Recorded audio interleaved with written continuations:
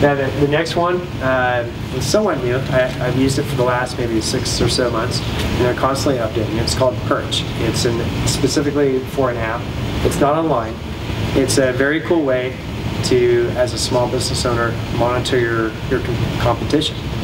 And it's built specifically for small businesses. So you're able to monitor your competitions, uh, Facebook, Twitter, Instagram, uh, but also you can keep tabs on everything that they're doing uh, on Yelp, on Foursquare, and there's they update this app all the time, and so you're able to see what types of reviews they're getting, what they're up to.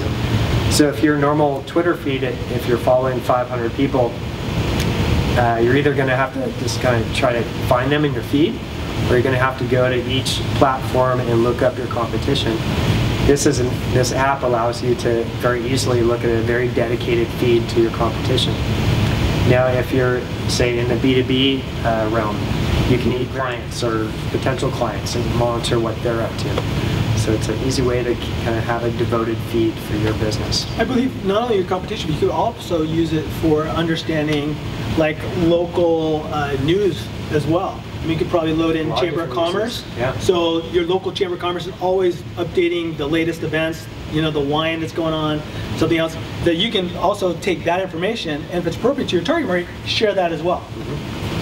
Is that an app or that's online? It's purely an app. Like they have a website, but it throws you right to their app. Now, again, these are complex things that are made very, very easy now. Yeah, because normally if you want to check out your competition, you probably get, once you get on Facebook, you're checking them out, it's probably maybe 20, 30 minutes to kind of seek out that information. But with this app, you can very easily just thumb through and see what your competition's posting and what they're up to, reviews, everything else.